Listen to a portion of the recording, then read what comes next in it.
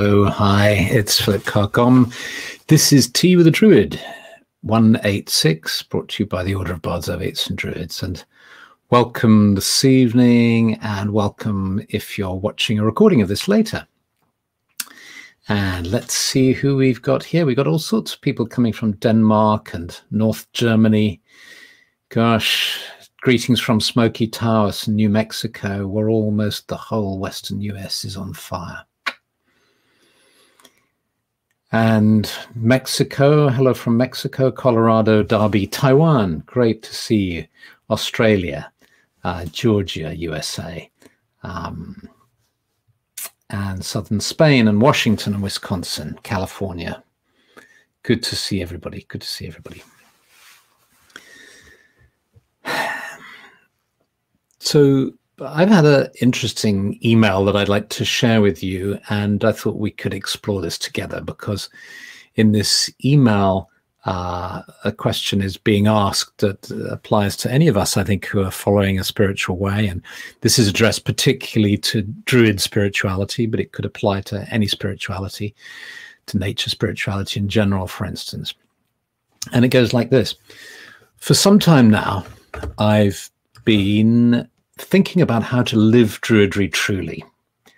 I mean, I have studied all three of the OBOD grades, and what is meant by that is the in the order of Bards, Ovates, and Druids, we have three levels of study: Bard, Ovate, and Druid. So I have studied all three OBOD grades, and I know there is this spark in me, this spiritual seed, but I find it very hard to really live it in everyday life. The world we live in is such a rational, success based society. I have a job, a mortgage, obligations, etc. But in all this rationality, how can I be sincere in a spiritual way? Otherwise, I'm concerned it might just fade away. So, really, really interesting question. And here are the ideas you might have some responses to, but let me just share with you some ideas I've had about this, which is, of course, that every individual is different with different needs at a different place on their soul journey. And one of the problems of the established religions, perhaps you might argue, I don't know if this is true or not, but you could argue, is that it tends to offer a one size fits all approach. And Druidry um, is an approach that uh, can be can be accessed in all sorts of different ways. So Christian druids and agnostic druids and atheist druids and pagan druids and polytheistic druids and so on. Uh, so people with different theologies, different understandings, different interests. Some people are really interested in the historical side, the archaeological side. Uh, other people are interested, treat their druidry as a religion. Other people treat it as a philosophy and so on. And I, I think a good analogy is that with druidry, you're not in the restaurant, you're in the kitchen.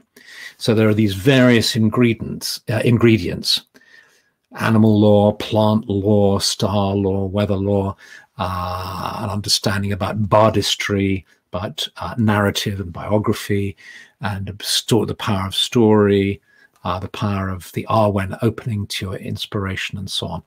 And you weave these ingredients together in a way that works for you at any one time. So each of us are individual. So it's difficult to answer a question like that uh, without addressing a particular individual rather than making generalizations. But in addition to each of us being individuals, at any given moment in time, I think our needs may well differ too. So, what you need in the winter time, this coming winter, may be different from what you needed last winter or what you might need this summer. What you need in your 50s, your 60s, your 40s, your 20s is going to be different too. So, you might say, well, are you evading the question and saying, well, there isn't really an answer to this? Well, here's some ideas. The one, one, one idea I suppose you could categorize as a, as a general concept, which is that as you study a spiritual path or spirituality in general, rather than confining it to any one path, but just think about the big questions in life, ask yourself the big questions, and follow practices like meditation and celebrating the seasonal festivals and so on. Um, and if if you're following Druidry, you're also following ideas about the Awen, looking at animal lore and plant lore and so on, and taking the path of the bard, the ovate, and the druid. All these are engaging your rational mind and your intellect, but they're also engaging other aspects of your being. And there's a process that's that's known in psychology as the progressive relegation to subconscious function. And what that means in in in simple terms is the best analogy is is when you learn to drive. So when you when you start off learning to drive, you have to be really conscious of what you're doing, putting the car in gear and uh, using the clutch and uh, you know how you use the indicators and so on. And then it as you become familiar with it, and as you do more and more of it, it becomes progressively relegated to subconscious function. In other words, you think less and less about it until you know that funny sensation when you arrive back home after a long drive and you and you think, well, how did you know? I was listening to the radio. You know, you can't even remember necessarily the kind of details of the journey because you just whisked along and you were doing everything correctly, but it was uh, mainly subconscious.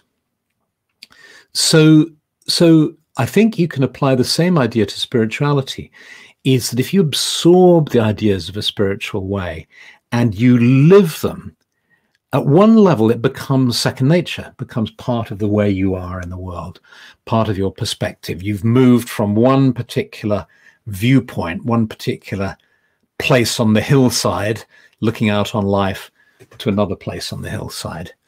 You've you've got you see things in a different way, perhaps you feel in a different way.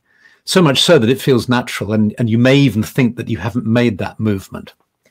So in this this uh, member of the order who writes you know i'm concerned about it fading away well uh, maybe it won't. Maybe it can't fade away because you've taken such a journey. You're actually in a different uh, place and that there's nothing you need to hold onto with any kind of tenacity because at some level it's built into who you are now and the way you you feel and understand uh, life. So this is some um, uh, general ideas. Here's here's another one. Um, feel into where you are at home and burrow deeper. Feel into the way you are at home and burrow deeper. So the things that make you feel at home in the world, listening to birdsong, being outside, being inside, curling up by the fire, listening to music, uh, what what makes you feel good in your skin and at home in the world? And whatever that is, follow that and burrow deeper. And then here's the opposite idea feel where you don't feel at home and step deeper into the feeling. So this requires a bit more courage. It's a kind of perhaps more challenging and uh, subtler sort of process. But where are those growing points? Where do you not feel at home, and what's that about? Is that do you need to do you need to just back away from that, or is it something about dropping into the uncertainty and the discomfort of those feelings and sitting with that discomfort and that uncertainty, but opening yourself to the possibilities of that. Take, take a specific example because Druids are really into creativity and being creative. You might say, well, the creative process is great. Oh, if only I had more time to be creative. But if you've ever spent time being creative, you'll know that there's a way in which you feel like you're coming home. Ah, at last I've got time to write. At last I've got time to, to make the thing with my creativity. And that's great. But there's also the opposite feeling, the spooky feeling that it's really uncomfortable being in this place of creativity. Completely the opposite feeling.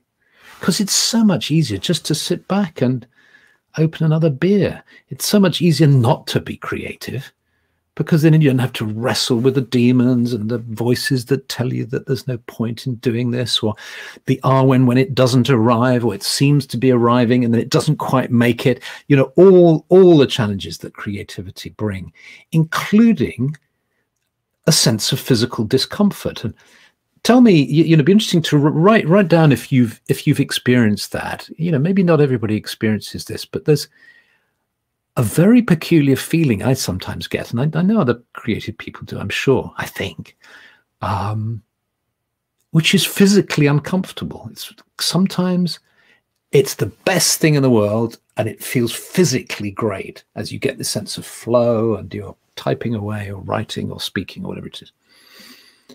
And then the other times where, which are literally physically uncomfortable.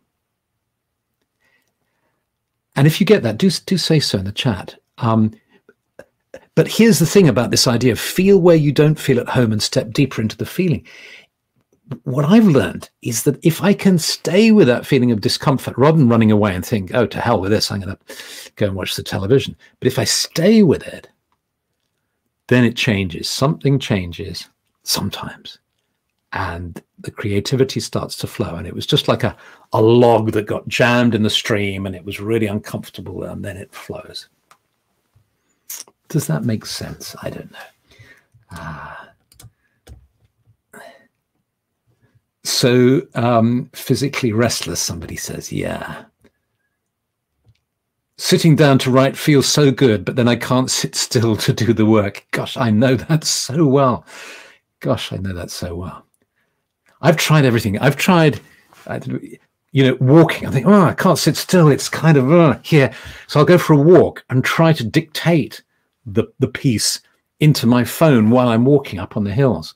You know, that kind of doesn't always work. It usually doesn't work either, actually, for me. Um, so I do my best work while ranting against things. Thank you Thank you. I remember one of the most enjoyable teas I did was when I'd been to see that awful musical. What was it called? Les Miserables, the miserable musical, and it was so awful. I just ranted uh, in a tea with a druid, and it was it felt so good. I have to say. Um, so, so um, Alan, Alan, what are you saying here? It feels like being on a roller coaster right before it crests. The highest part and then the rush of creativity hits. That's right. And sometimes kind of getting up to that part is really uncomfortable. You stay with it, stay with it, stay with it, and then woof, down you go. Exactly. The coup de foudre. Here we go. Leo. The ritual of setting up paints and canvas, the waiting for the coup de foudre, which means the, the clap of thunder to hit, and I can make shapes. Absolutely. Louisa Lily. It feels like jumping off from a cliff symbolically, but then there is a honey warm feeling of goodness with creating, an opening of moving forward into a sparkling place. Absolutely. Yeah, this is great. Yes. Gosh, lots of lovely, lovely things here. Um, Ooh, let's see, have a look here. Hello from Canada. Wonderful subject, lovely. So far, I agree with everything you've said. The idea of stepping deep into the feeling when it is not where you feel at home, quite challenging. Creativity is work. There are moments of euphoria, but yes, one example is forgetting my body or sacrificing it to continue working. Yeah, sitting too long. Held my breath when working. That's another one where you catch catch yourself holding your breath. Yes, absolutely. Um, Yes, thank you. Yeah, this is great. Um, so, okay. Um, sorry, Ashley. Um, oh, sorry. Whoops. What, what was that? Uh, yes, I've had this. I do wood turning and general woodwork as my hobby. I've been known to pace up and down whilst trying to get between the wasting of time weighs heavy, heavier. Not a good place. Yeah, yeah, yeah. Great.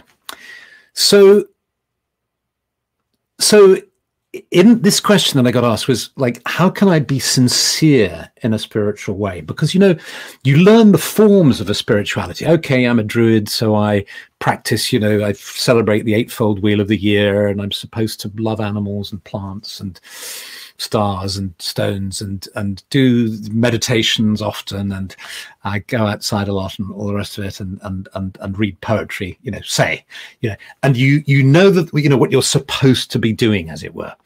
And the question is how can I be sincere in a spiritual way you know? And you know the bard William Shakespeare to thine own self be true applies so much here is that it might be for you doing any of those things or all of those things, but also being able to do none of those things, to not beat yourself up about it, and to say, no, I'm being true to myself. And I don't feel like celebrating the summer solstice, or I don't feel like meditating. I don't feel like tuning into this, that, or the other. I'm I'm feeling like I need to sit still or be quiet or what, what whatever it is. To thine own self be true.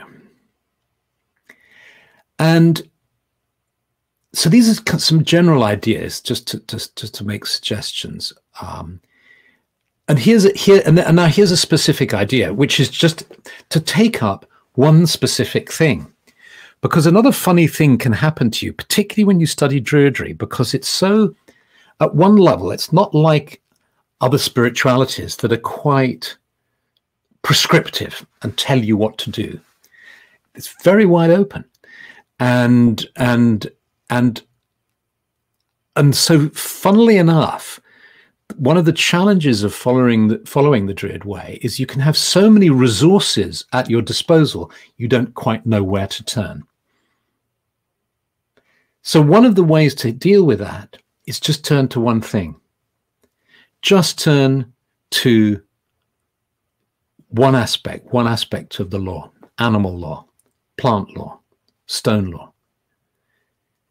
So for me, for instance, if I turn uh, animal lore is really helpful to me. So if I turn to animal lore and I ask for what I need, and I use the Druid Animal Oracle, and at the stage I am in my journey now, I ask the Animal Oracle what I need, and and I get the blackbird.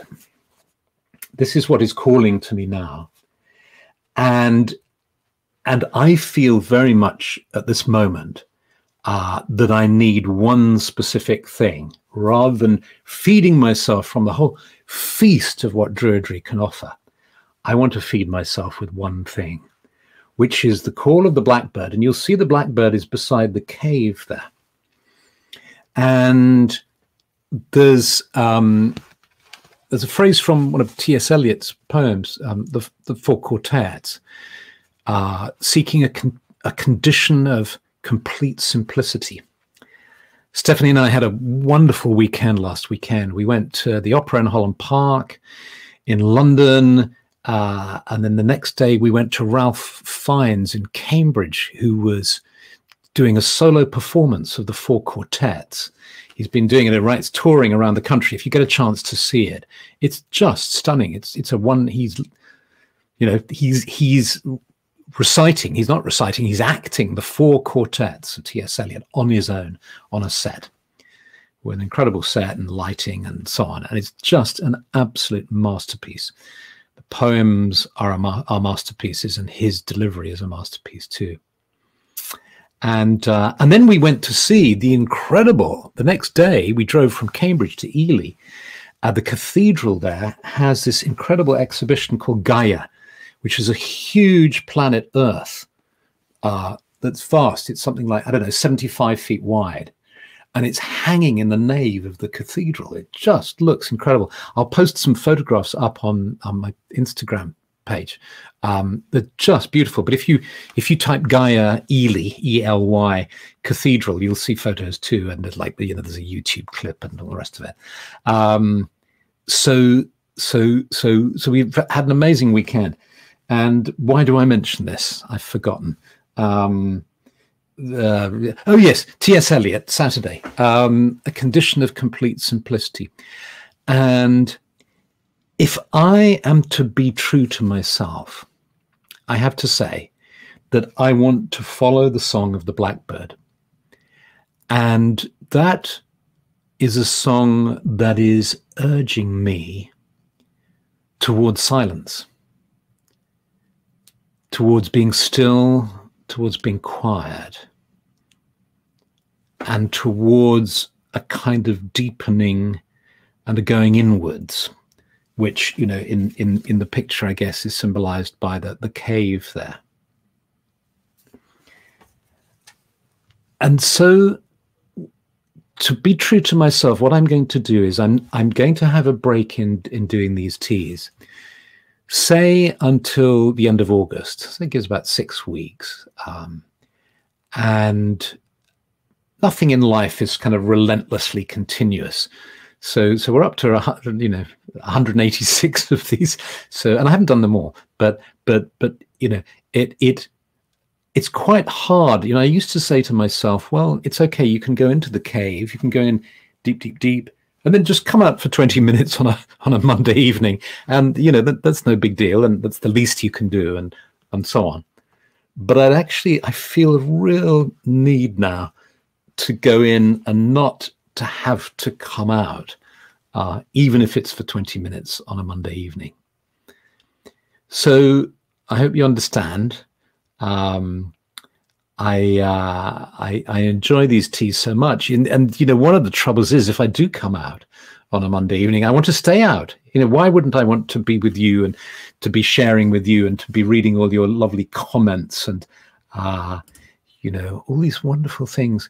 You know, Helen is saying I'm, you know, I'm focused on qigong and yoga and take, you know, uh, why wouldn't I want to be with lots of people, wonderful people who are kind of following, who are on the same page, and you know who who want to be doing the same things.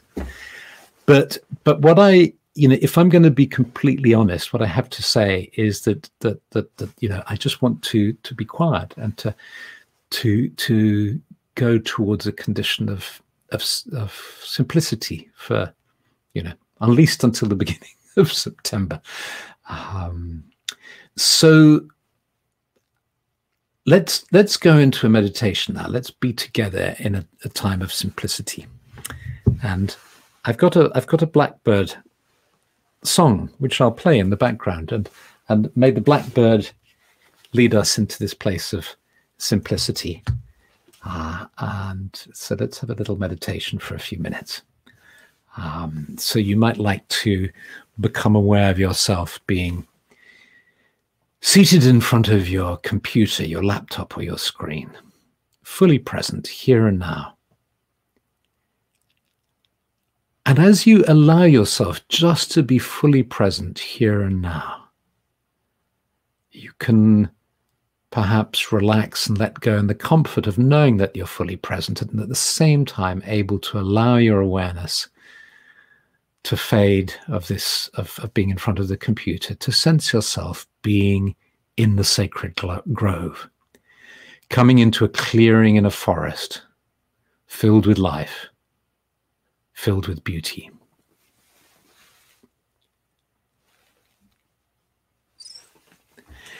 And there's a little blackbird sitting in the trees and you sense the earth beneath you. Oh no! Which one of these foods contains a I've, do you know, I had an intuition that might happen, that some YouTube ad might come on on that. I'm so sorry. That was a YouTube ad. Let's allow our. Oh no, the blackbird's come back. I want to stop it. I know. Stop it. We'll just we'll just listen to this blackbird for a few moments, and then we'll, we'll stay in our sacred grove,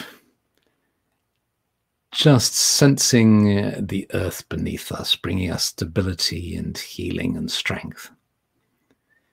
So good to be on the earth. So good that it's there to hold us.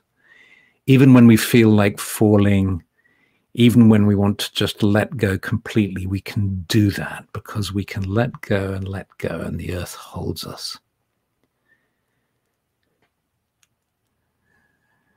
and just opening to this sense of the earth holding us and feeding us with energy and with love. We become aware of the roots of the trees sinking deep into the earth.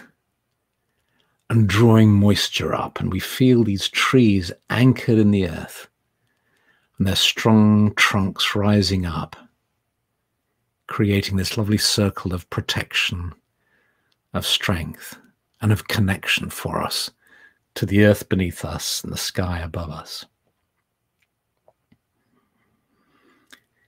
And we give thanks to our brothers and sisters, the trees, for being with us. And we become aware of their branches and their leaves high in the air. And we become aware of the sky above us. And we breathe in the energy of the sky. The energy of the sky meeting the energy of the earth within the center of our beings.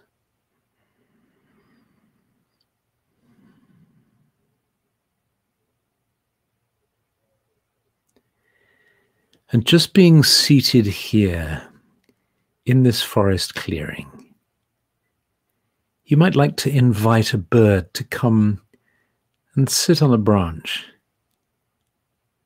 And it might be a blackbird or it could be another bird. And just if a bird wants to come, just allow that bird to be with you and to sing to you. And for you to appreciate its being, its presence just to be with this bird, hearing its song.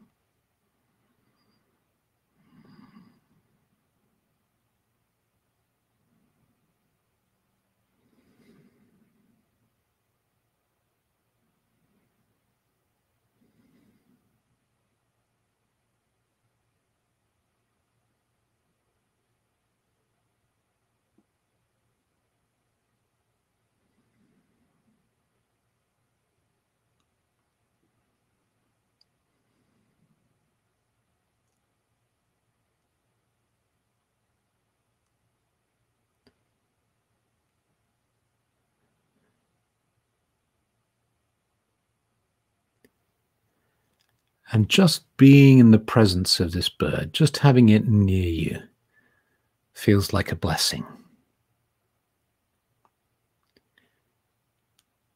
And as it starts to take off from its branch now and fly higher up into the trees, see if you can catch the caress of the wind from the bird's flight on your face.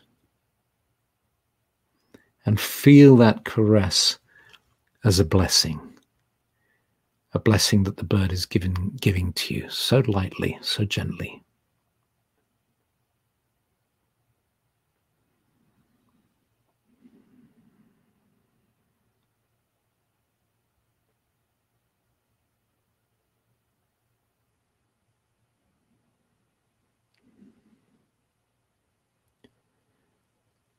And this, and then just being seated in the grove, just being aware of how there's nothing you need at this exact moment. All you need to do is just be.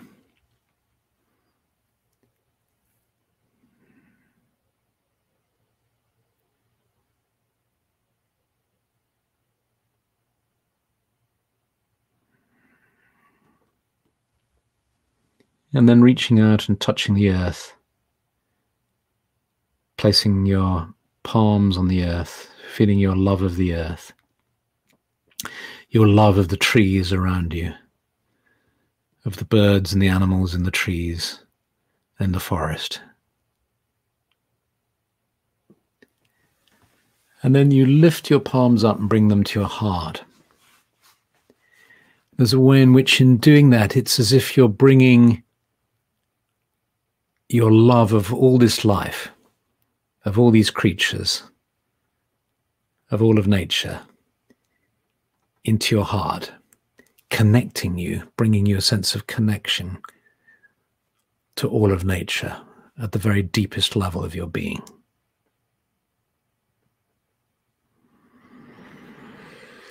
And as you do that, you take in a big deep breath, hold for a moment, and then let out fully and deeply. And as you do that, you allow your awareness of being in the sacred grove to fade as you become aware of being seated here, fully present, here and now. And when you feel ready, you open your eyes.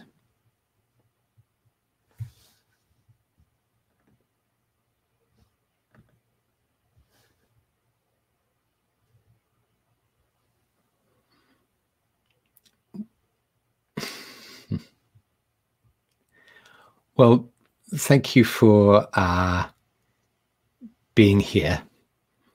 Isn't it funny how we get these? You know, it's like just before I put it on, a little kind of voice said to me, There's going to be some ad on that because I found an hour of Blackbird song on YouTube and I thought I'll just play it on my phone and we'll have it in the background.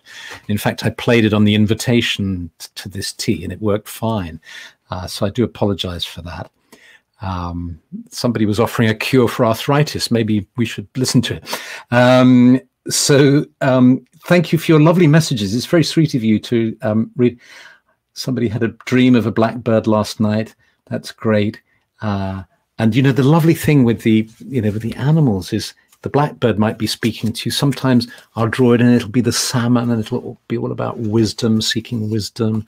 At other times, you know, the stag and it'll be about you know, dignity and respect and those sorts of things. And so um, have have a really good rest of the summer if you're in the northern hemisphere, or uh, if you're in the southern hemisphere. Of course, it's winter time now, and um, I sincerely hope that I will be back. Uh, I think it's the sixth of September, the first Monday in September. Um, and just have a really good few uh, weeks. And uh, I look forward to seeing you again in, in in in September, unless I decide that for some reason the, this this is a cycle that's complete and and uh, you know we don't. It's it's not necessary to do this anymore. Uh, but I, I do hope to be back. That's the plan at the moment, anyway. Okay, so lots lots of love, many blessings, and I really look forward to reading all your all your comments when I come back here with a cup of tea. Okay, bye everybody. Bye.